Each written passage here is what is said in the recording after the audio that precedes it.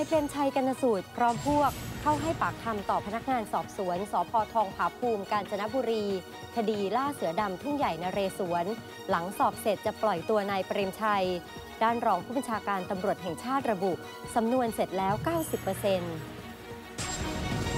ศาลจังหวัดธัญบุรีไกล่เกลี่ยคดีนายภัยรัฐพึ่งสุขหนึ่งใน 6 ผู้เสียหาย ถูกนางสาวจริยาพรบัวใหญ่ หรือน้องน้ำมนต์หลอกแต่งงาน โดยยอมความและลดค่าเสียหายให้ 50,000 บาท เหลือ 130,000 บาท ผ่อนจ่ายคืนเป็นงวดงวด ส่วนคดีช่อโกงนัดสืบพยานโจทย์อีกครั้ง ผู้อำนวยการท่าอากาศยานนานาชาติกระบี่ยอมรับ รันเวย์สนามบินกระบี่ร้าว 2 จุด เตรียมหารือวิศวกรวันที่ 5 มีนาคม เพื่อกำหนดวันซ่อมสนามบินอีกครั้ง คาด เริ่มหลังเที่ยงคืนถึงเช้า กระทบอย่างน้อย 10 เที่ยวบินต่างประเทศ ยอดผู้เสียชีวิตเหตุรถไฟของอียิปต์ตกราง 3 โบกี้วานนี้ เพิ่มขึ้นเป็น 15 คน ผู้บาดเจ็บ 40 คน